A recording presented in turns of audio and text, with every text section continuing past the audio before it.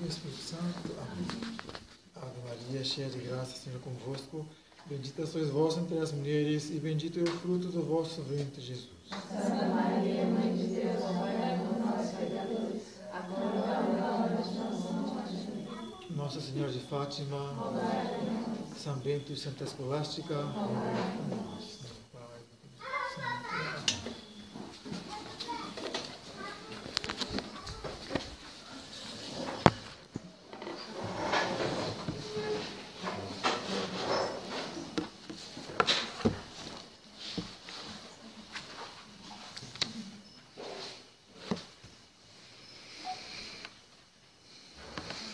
Então, nosso- da conferência, desta conferência, então é da modéstia católica feminina no vestir e no agir.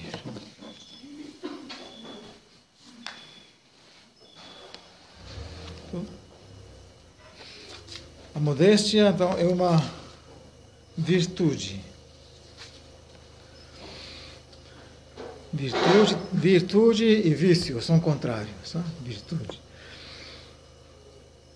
A virtude é uma, um hábito bom. E um hábito nós o adquirimos através de repetição de atos. Por exemplo, nós aprendemos a ler, escrever, primeiro com dificuldade. Não? Uma vez que adquirimos o hábito, já é mais fácil e se torna como uma segunda natureza. Não? Isso é qualquer aprendizagem. Eu, eu quero aprender a dirigir bicicleta também. Vou levar um, uns tombos, não? Às vezes. Depois, e depois já é, é mais fácil e não se esquece mais, não? Não se esquece. É um hábito, é um hábito. Mas o hábito bom chama-se virtude. E o hábito mau chama-se vício. Então, é, a modéstia, então, é um hábito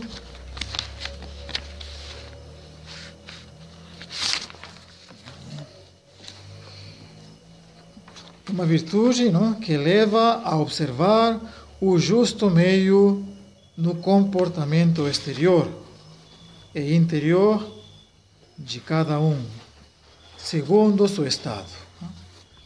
Uma virtude, não? um hábito bom, que leva a observar o justo meio no comportamento exterior. Não?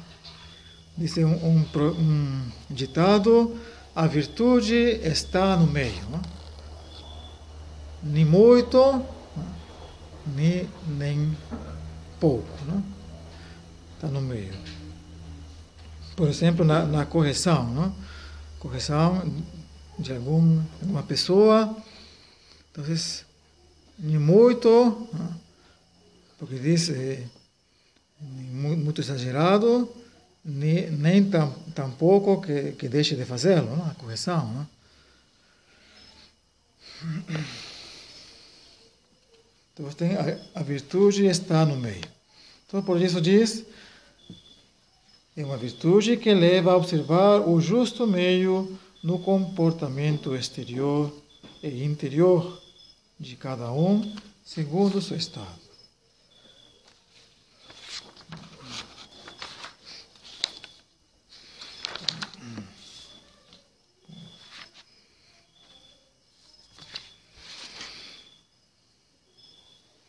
Então, lembrar não? que nós somos filhos de Adão. Antes do pecado, havia uma perfeita harmonia entre o espírito, podemos, o espírito e, e o corpo, a carne. Não? Havia uma, uma hierarquia, uma submissão. O espírito, a inteligência obedecia a carne. Depois do pecado, houve uma desordem. Essa ordem antes do pecado, foi perdida. Então havia desordem. E aí, porque nos primeiros padres, eles deviam, ah, deviam nus, e não tinham, não, sentiam nenhum, nenhuma, nenhuma vergonha. Foi depois, porque o Senhor disse, diz a Adão e Eva que no dia que comessem da árvore proibida, não?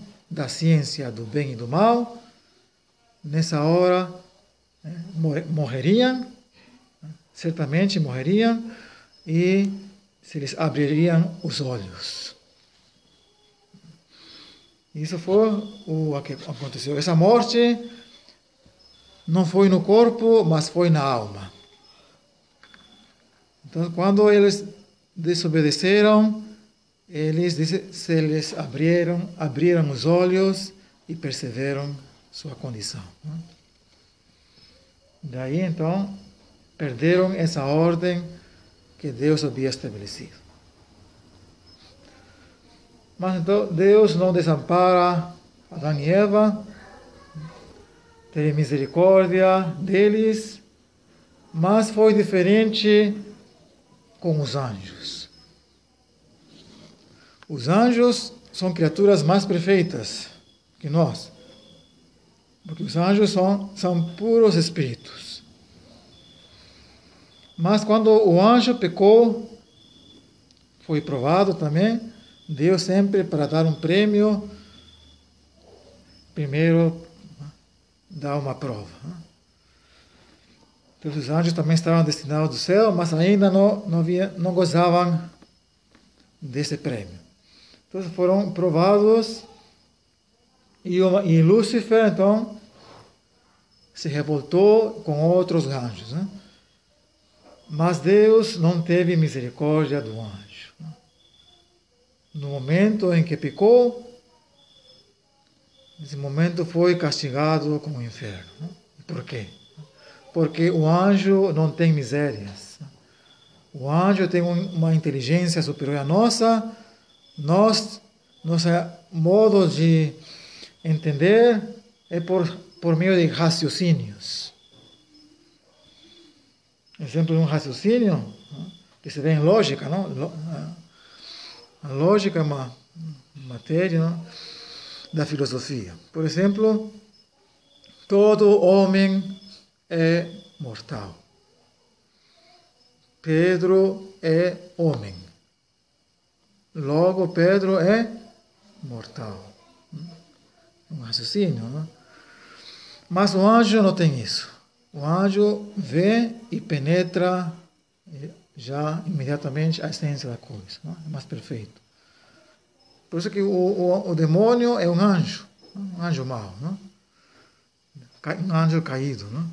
Ele é mais astuto, a sua natureza é bem superior e quando ele tenta, sabe, né? com muita astúcia, não? Então, Deus não teve misericórdia do anjo, porque o anjo não tem misérias. Mas teve misericórdia do homem, porque o homem sim tem misérias. Então, daí, misericórdia, não? inclinado à miséria. Então, Adão pecou, então, e prometeu-lhe um Salvador. Né? Salvador na imagem da mulher. Né? Então, que representa a descendência da mulher. Né? Ou seja, a mulher é Nossa Senhora e que sua descendência é Jesus né? e todos os, né? os que nascem como, nós somos como irmãos de Jesus. Somos irmãos. Né? E filhos de Nossa Senhora também. Então, ficou perdida essa ordem, mas eh, o, o, o batismo vai, vai é, apagar esse, essa mancha do pecado original, mas não vai, vai vão continuar as consequências. O pecado é apagado, sim, mas ficam as, as sequelas, né? as, as consequências do pecado. A gente sempre tem que trabalhar. E a santidade consiste nisso, não? Em restabelecer essa ordem perdida. Bom, então, isso porque depois do pecado, então, eh, foi o castigo do pecado foi a morte. Depois a, a dor, né, o sofrimento, tudo o que falou no Senhor, o Deus para Adão e Eva, trabalharás a, a terra com o suor, com o suor da tua, tua te, frente, testa, e a mulher né, darás a luz com dor, etc. Não? Tudo isso, não? consequência do pecado. Mas então o, o batismo e também a, circuncisão, que era a figura do batismo, não? vai então apagar esse pecado, mas ficam essas consequências para que nós as trabalhemos com a graça de Deus. E a modéstia vai, vai eh, então, moderar essas, essa virtude, né? No, no vestir, tanto no vestir como no agir.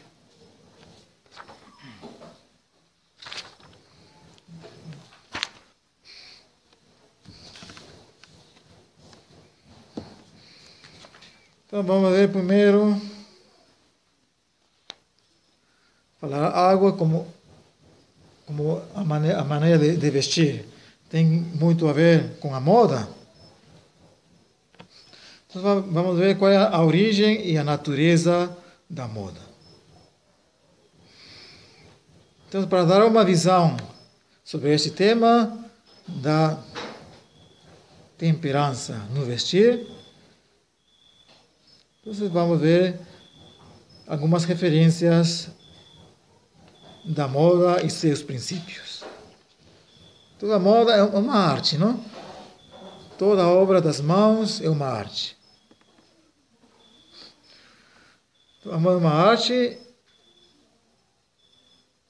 é um modo de expressão, intérprete de sentimentos e costumes.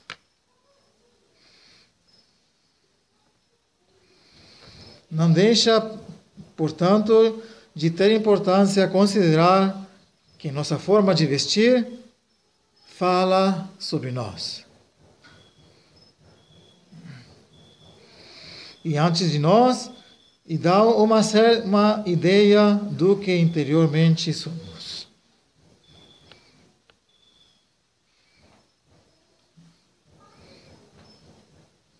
Por outra parte,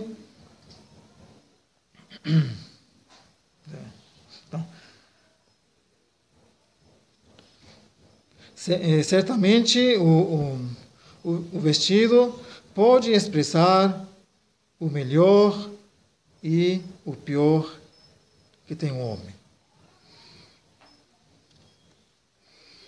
O luxo, a pretensão de causar impressão com o vestido, com o vestido, o excesso de aparência manifesta uma, uma certa vaidade, não? Vaidade, egoísmo, desejo de dominar.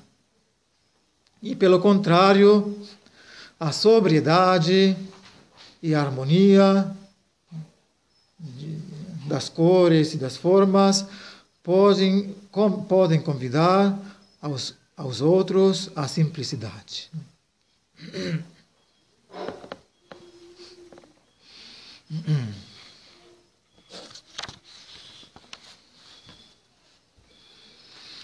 No discurso aos membros do primeiro Congresso Internacional de Alta Costura, o Papa Pio XII disse: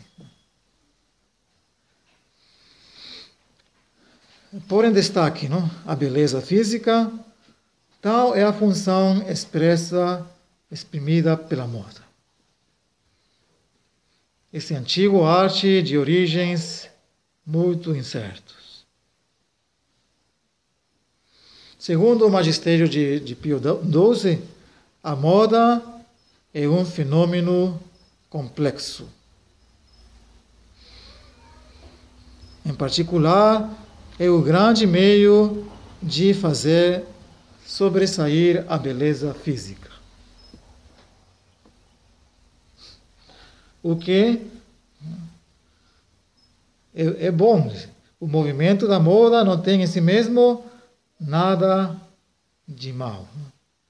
Nasce espontaneamente da solidariedade humana,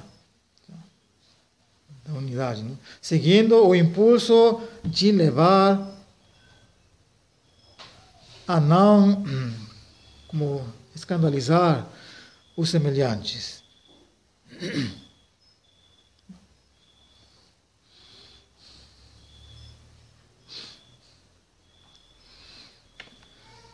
Então, o problema da moda consiste em conciliar, em equilibrar a harmonia, o adorno exterior da pessoa com o interior de um espírito tranquilo e modesto. Alguns se perguntam se existe realmente um problema moral em torno a um, a um fato tão exterior.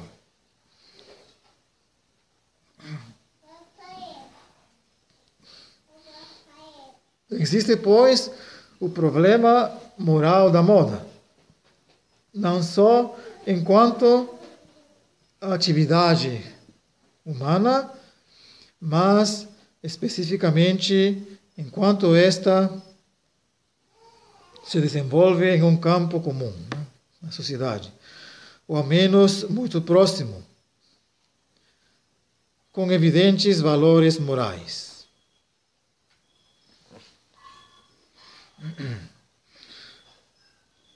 O homem moderno se entende aquele que segue as extravagâncias da moda.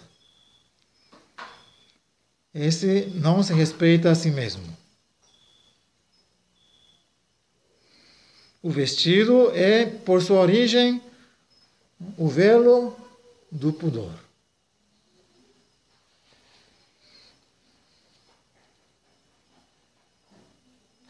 A igreja não condena nem reprova a moda quando ela está destinada ao justo decoro e ornamento do corpo.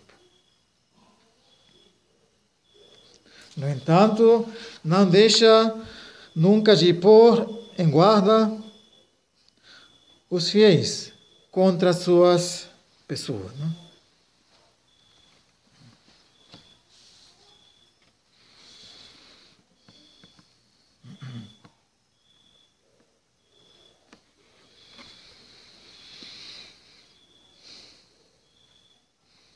Por vasta e inestável que possa ser a relatividade moral da moda, existe sempre um absoluto que devemos salvar. A moda não deve nunca proporcionar ocasião próxima de pecado. É o princípio, não? Então, a moda não deve nunca proporcionar ocasião próxima de pecado. Como explica Santo Tomás. Para, para, eh, para determinar concretamente os limites do permitido pela moral cristã e assinalar o grau de responsabilidade que alcança aos que ultrapassam esses limites né, voluntariamente.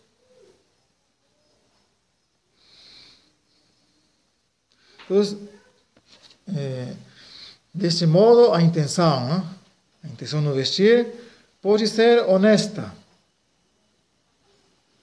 Quando se busca um fim honesto. Neste caso, não se comete pecado. Contal, claro está, que, é, que não tenha nada de escandaloso. A intenção também pode ser frívola, quando se deve à vaidade. a jactância.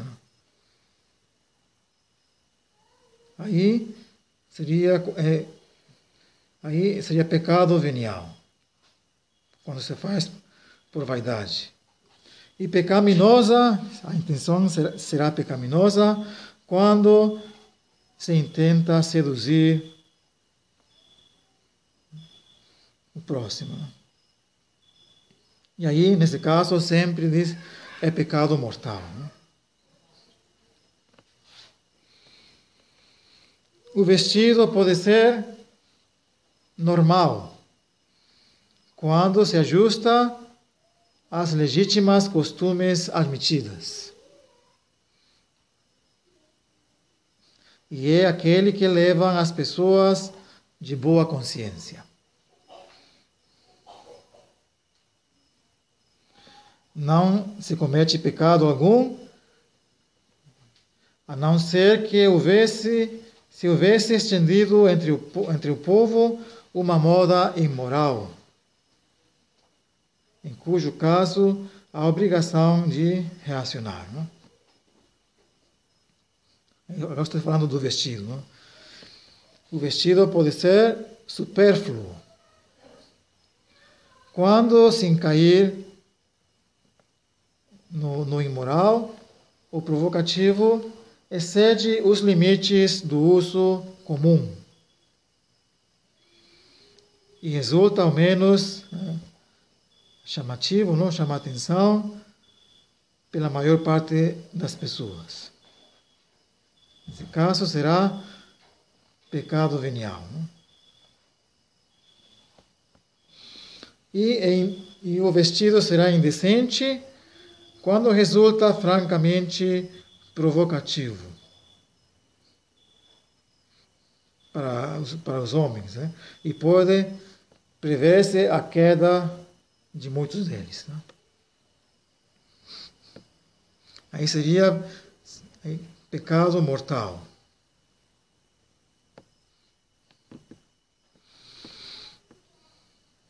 Então, alguém poderia objetar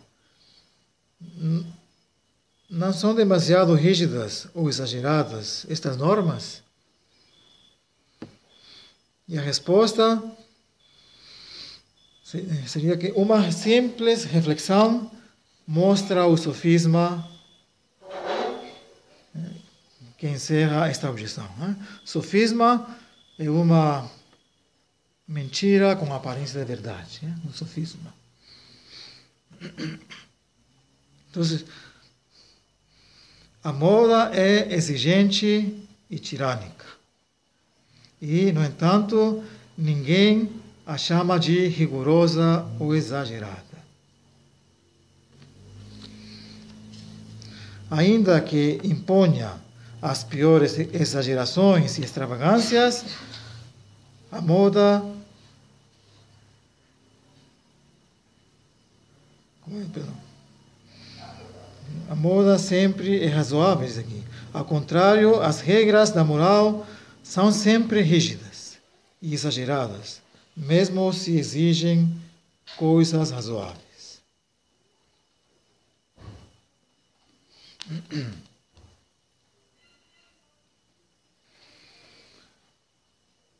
Entre os elementos objetivos que concorrem a formar uma moda, assim, eh, desonesta está, em primeiro lugar, a mala intenção de seus artífices, tá?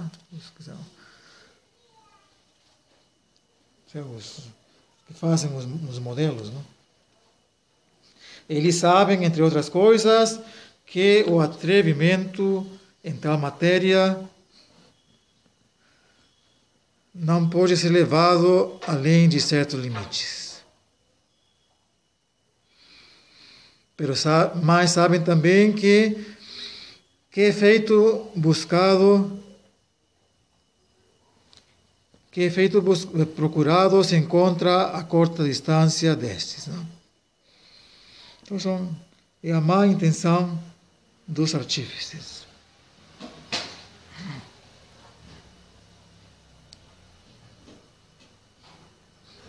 A imoralidade de algumas modas depende em grande parte dos excessos da imodéstia.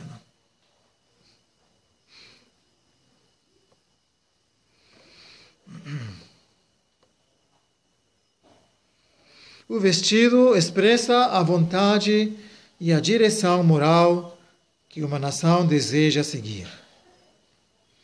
Isto é, naufragar no desenfreio ou bem manter-se no nível a que elevaram a religião. Outra objeção seria: hoje em dia as pessoas estão habituadas com estes vestidos e por isso já não, já não se impressionam com, ele, com eles. Já não chamam mais a atenção. Ah.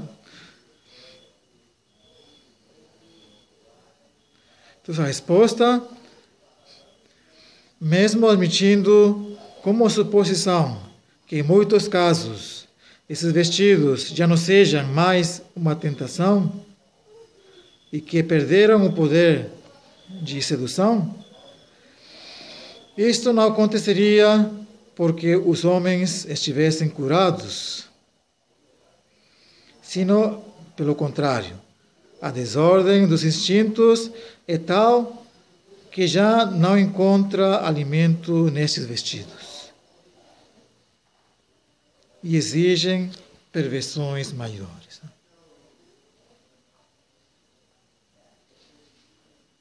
Outra objeção quem, quem pode resistir a essa corrente, não? a essa correnteza da moda? Quem? Quem se sustrai sem cair no ridículo, no, ao movimento ao, da moda, não? o grande movimento da moda. Estou, isso cada uma das senhoras pode comprová-lo, não? Viste modestamente e as outras né, mulheres, né, às vezes eh, zombam, não? Ah, que, que, parecem, não? Que parecem, não sei, freiras religiosas, não sei. Então, resposta: não é difícil imaginar as lutas que muitas muitas pessoas terão sustentado. Vendo-se acusadas pelas exigências da moda, por uma parte, e pela outra, pelos requerimentos do bom sentido e da virtude. Então, não, deve, não devem temer o ridículo, não? ou seja, que homens das senhoras, porque nada há mais severo nem mais respeitável que a convicção honrosa né, e, e o sentido do cristão. Né? Quando sabem ter força para se sobrepor né, ao império, do, esse império da moda, da, da moda indecente, mas que nunca deixa de serlo porque seja moda.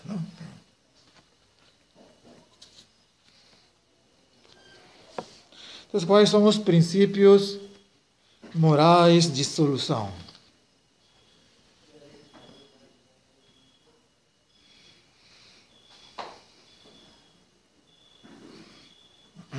Então, a linguagem do vestido é tanto mais eficaz quanto mais frequente e conhecido por cada um.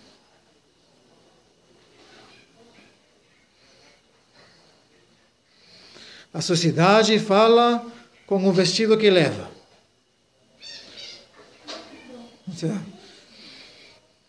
Com o vestido revela suas secretas aspirações e dele se serve para edificar ou destruir o próprio futuro.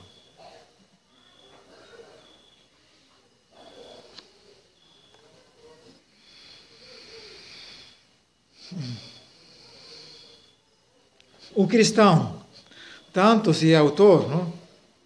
cliente, não? ou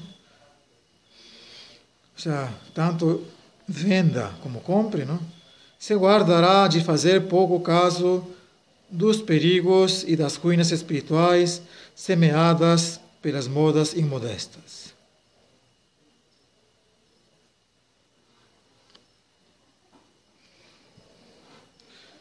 E um exemplo tirado das, das Escrituras, do livro do profeta Isaías, diz: E diz, e disse Deus, porquanto as filhas de Sião são tão altivas e andam com a cabeça erguida e fazendo sinais com os olhos e caminham movimentando o corpo. Por isso o Senhor recairá, perdão. Por isso o Senhor raspará a cabeça das filhas de Sião. E Deus descobrirá suas vergonhas. Naquele dia, tirará o Senhor as, as belas, não? As, as formosas, as, os, os, os formosos colhares, os anéis,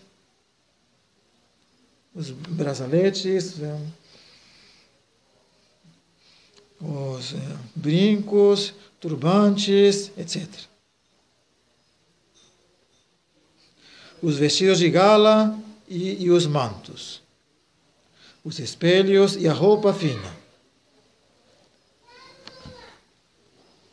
Em lugar de perfume, haverá um odor fétido. Em lugar de cenidor, uma soga. Uma cinturão, não? em lugar de cinturão, uma soga, um laço. Em lugar de cabelos frisados, a calvície. Em lugar de vestidos suntuosos, uma túnica áspera. E em lugar da formosura, a marca do fogo. São palavras de Isaías, não? Figura do, do que vai acontecer com a mulher que se deixa levar pela moda. Não?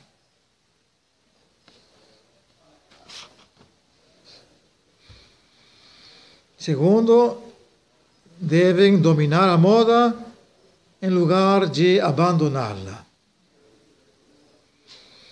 A moda deve ser dominada em lugar de abandoná-la ao capricho.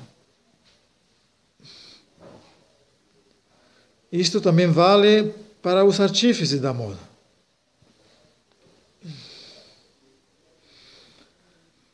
Pero tem também valor para os indivíduos.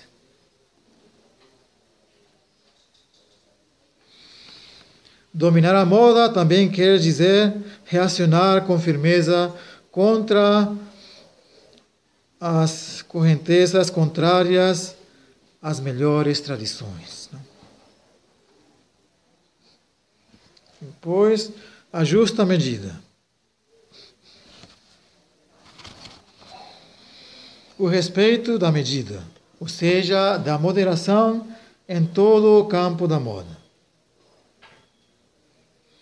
Como os excessos são as causas principais de sua deformação. Assim, a moderação a manterá em seu valor. Esta deverá atuar, ante tudo, sobre os espíritos regulando o ansejo do luxo, da ambição.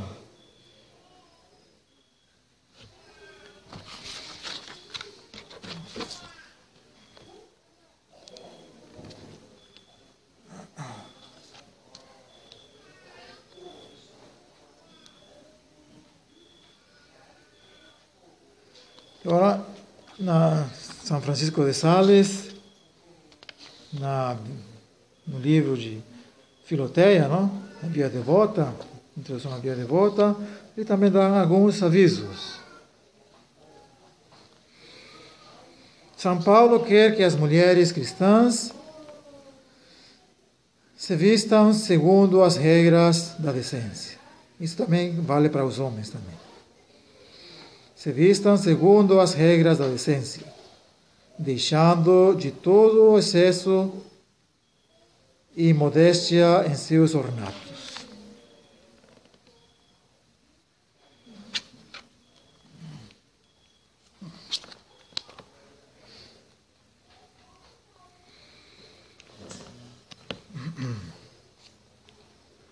Depois. Conserva um, um asseio esmerado, filoteia, e nada permita sentir rasgado ou desarranjado. Hoje em dia tem uma moda andar com calça toda rasgada. Estou lembrando disso. Então, então nada, nada permita sentir rasgado ou desarranjado. É um desprezo das pessoas com quem se convive andar no meio delas com roupas que as podem desgostar. Mas guarda-te cuidadosamente das vaidades e afetações, das curiosidades e das modas levianas. Observa as regras da simplicidade e da modéstia, que são indubitavelmente o mais precioso ornato da beleza e, o melhor, e a melhor escusa da fealdade.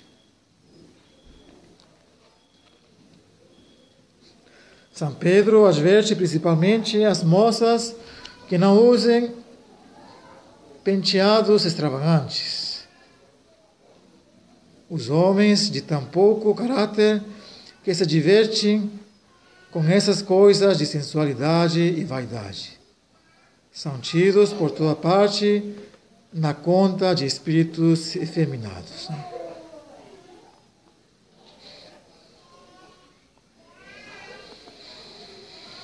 Disse que não se tem má intenção nessas coisas, mas eu replico, eu repito, como fiz outras vezes, que o demônio sempre tem. Para mim, diz, São, São Francisco Sales, para mim, eu desejava que uma pessoa devota fosse sempre a mais bem vestida de uma reunião mas a menos pomposa e afetada, e que fosse ornada, como se lê nos provérbios, de graça, da decência e de dignidade. E São Luís resume tudo isso numa palavra, dizendo que cada um deve vestir-se segundo o seu estado de modo que as pessoas prudentes e a gente de bem, de bem não possa achar exagero algum e os jovens nenhuma falta de ornato e decência. E no caso em que os jovens não se deem por contentes, é preciso, preciso seguir o conselho das pessoas prudentes.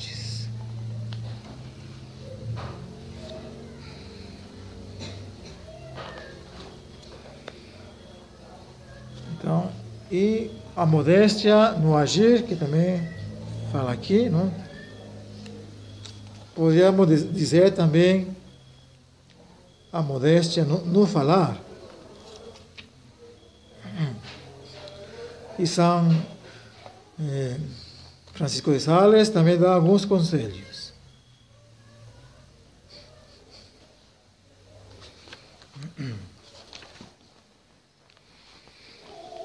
Se alguém não peca por palavras, é um homem perfeito, diz Santiago.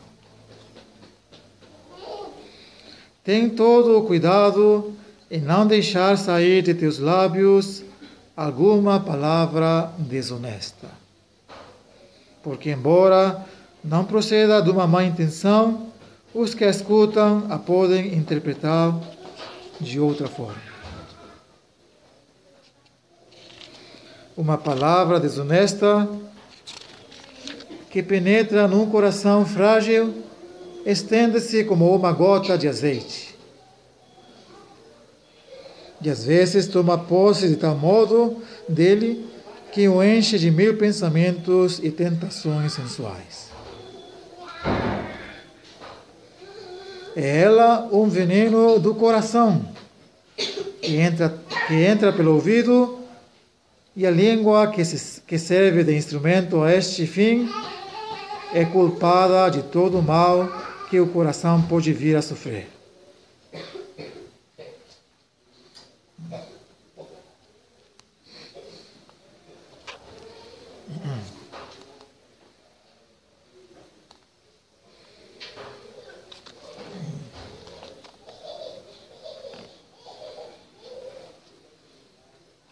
Dos, depois, não julgueis, diz, diz nosso Salvador, e não sereis julgados.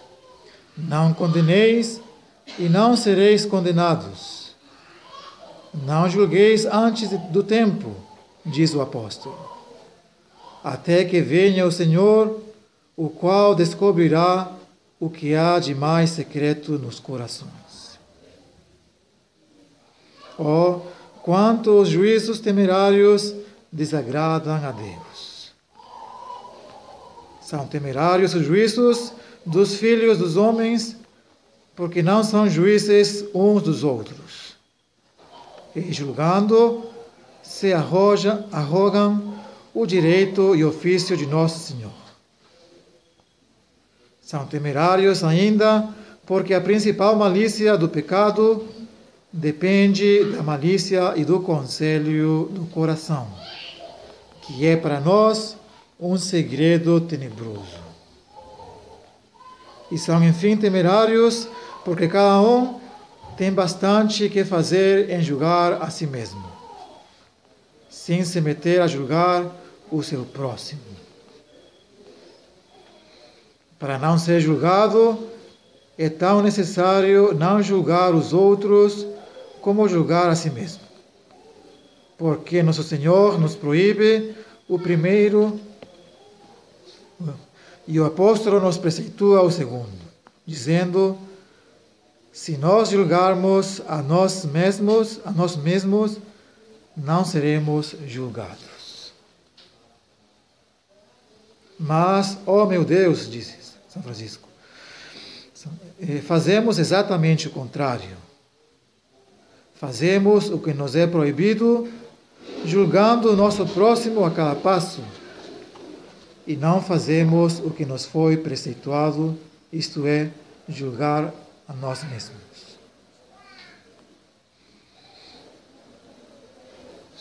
Como os juízos temerários têm diverso princípio, devemos curá-los também com remédios diversos.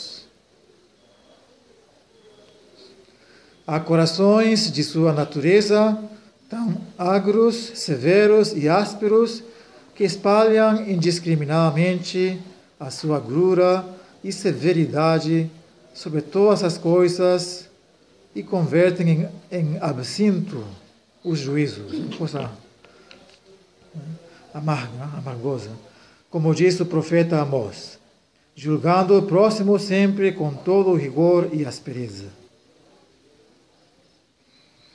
Precisam estes de um remédio muito hábil. Tanto mais que seu incômodo, sendo natural, é muito mais difícil de vencer.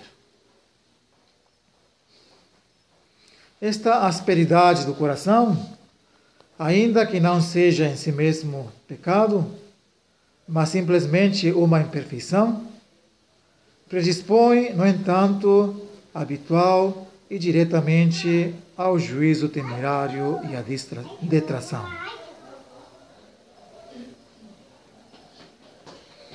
Outros julgam temerariamente não por aspereza natural, mas por orgulho, pensando insensatamente que quando mais rebaixam os outros, tanto mais elevam os seus próprios méritos espíritos arrogantes e presunçosos. Admiram incessantemente a si próprios e colocam-se tão alto em sua própria estima que encaram tudo mais como alguma coisa de ordinário e mesquinho. Não dizia o fariseu, eu não sou semelhante aos outros homens.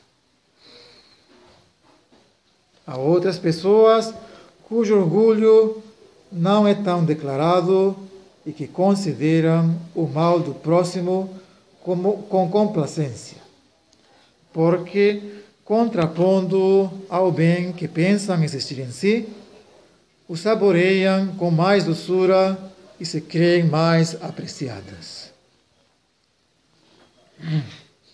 A essas complacências anda tão escondida, e essa complacência anda tão escondida, que é preciso ter bons olhos para descobri-la. E tanto assim que aqueles mesmos que a nutrem de ordinário a ignoram e só anotam se la mostram.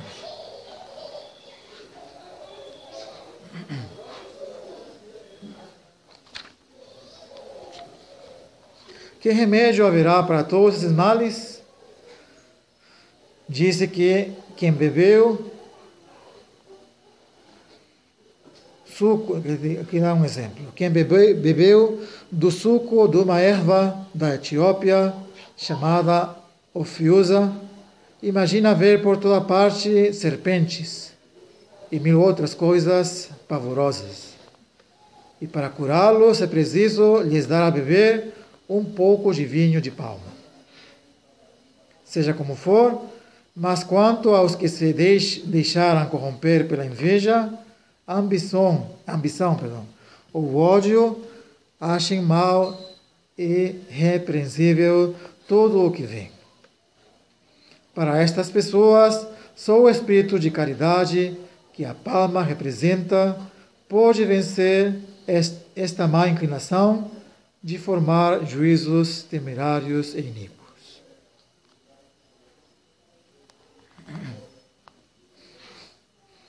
A caridade, muito longe de ir observar o mal, teme até encontrá-lo.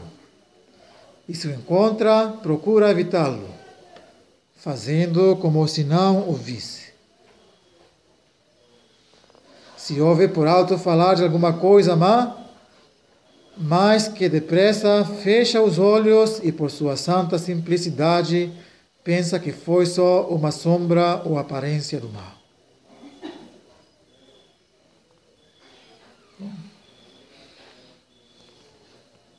E São Francisco continua com bons conselhos. E é bom né, ter, ter esse livro em casa, não? para sempre lê-lo, meditá-lo e pô-lo em prática. Não? São meios para a nossa santificação, meios para refrear a nossa língua. Não? Que a língua é como uma arma de dois gumes, não? tanto para bem como para o mal. E é um órgão tão pequenino, não? Pequenino. Aí. Mas é como o, o timão de um navio. O navio é grande, mas o timão pequeno, não? E para onde o que dirige o navio vai, para aí, para aí vai o navio, não? Então, guardar-se, não? Desse, não é? no agir. E para, para cumprir tudo isso também, então, é, é, em todo, em todas as nossas ações, nós precisamos, precisamos da graça de Deus. Então, pedir também, pedir. E por, por isso também, é, um, São Bento diz que o mal e o bom estão no poder da língua. Para que foi criada a nossa língua? Não? Para quê? Foi criada principalmente para louvar a Deus, não? cantar os ofícios divinos, não? cantar, dar um bom conselho, consolar o triste, etc. Não? Cumprir as obras de caridade. Para isso. Mas, então, pedir, pedir essa graça e esforçar-se, né? esforçar-se para não se deixar levar assim pelas aparências, não? Nunca pensar mal do próximo, mas pensar bem, não?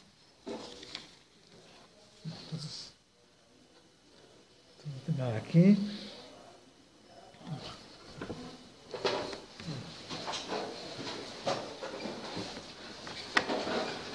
Ave Maria, cheia de graça, Senhor convosco, bendita sois vós entre as mulheres e bendito é o fruto do vosso ventre, Jesus. Santa Maria, Mãe de Deus, rogai por nós, pecadores, agora e na hora de nossa morte. Amém. Nossa Senhora de Fátima, Rogai por nós. São Bento, Santa Escolástica, rogai por nós. Nós. Em nome